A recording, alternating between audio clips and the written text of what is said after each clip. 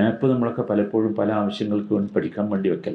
പക്ഷെ മാപ്പ് എടുത്ത് നോക്കിയാൽ നിങ്ങൾ ലോ ഏത് രാജ്യം എടുത്താലും മക്ക പോലെ ഏതൊരു സ്ഥലം നിങ്ങൾ സ്പോട്ട് ചെയ്താലും മക്ക പോലെ ശ്രേഷ്ഠമായ ഒരു സ്ഥലം നമ്മളെ സംബന്ധിച്ചിടത്തോളം അടയാളപ്പെടുത്താൻ എവിടെയില്ല ഉണ്ടോ? ഏ? നമ്മൾ പോകാൻ ആഗ്രഹിക്കുന്ന നമ്മൾ കാണാൻ ആഗ്രഹിക്കുന്ന നമ്മൾ തങ്ങാൻ ആഗ്രഹിക്കുന്ന വേറൊരു സ്ഥലമില്ലല്ലോ അത് വലിയൊരു സംഭവമാണല്ലോ.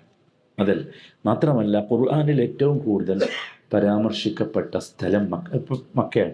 അതിപ്പോൾ തന്നെ മനസ്സിലായല്ലോ. പല പേരുകളിലാണെങ്കിൽ ഇനി ഇതല്ലാത്ത സൂചനകളിൽ ഒരുപാട് പരാമർശങ്ങളുണ്ട്. ഞാൻ നേർക്കുനേരെയുള്ളത് മാത്രമാണ് പറഞ്ഞത്. നോക്കൂ മാത്രമല്ല ഭൂമിയിൽ ആദ്യമായി ഇന്ന അവല ബൈത്തിൻ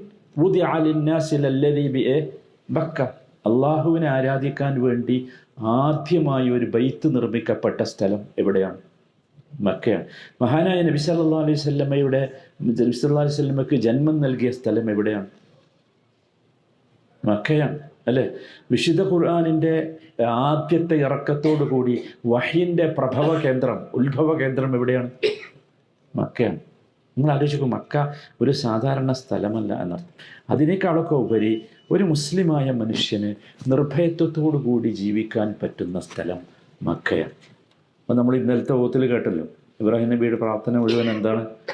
റബ്ബിജാൽ ഹാദൽ ബലദ ആമിനൻ അല്ലെങ്കിൽ ഹാദ ബലദൻ ആമിനൻ. ഇത്ര നിർഭയത്വത്തോടു കൂടി നമുക്ക് ജീവിക്കാൻ പറ്റുന്ന ഒരു സ്ഥലം വേറെയില്ല. ഇതാണ്.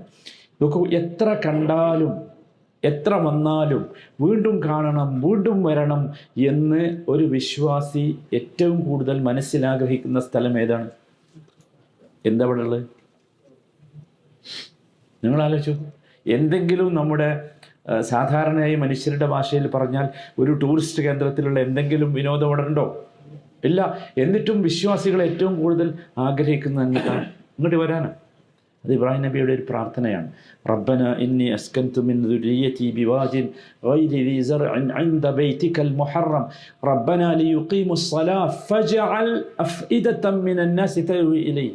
ഇബ്രാഹിം നബി ദീർഘമായ പ്രാർത്ഥനയാണ്. വലിയൊരു വാചകമാണ് ഫജ അൽ ഇലൈഹിം. ജനങ്ങളുടെയൊക്കെ ഹൃദയം അള്ളാഹുബെ മക്കയിലേക്ക് ഇങ്ങനെ ചാഞ്ഞുകൊണ്ടിരിക്കണം എന്നാ ഭയങ്കര പ്രാർത്ഥനയാണ് നബി. എല്ലാവരും എല്ലാവരും ആഗ്രഹിക്കുന്നത് മക്കയിലേക്ക് എത്താനാണ്.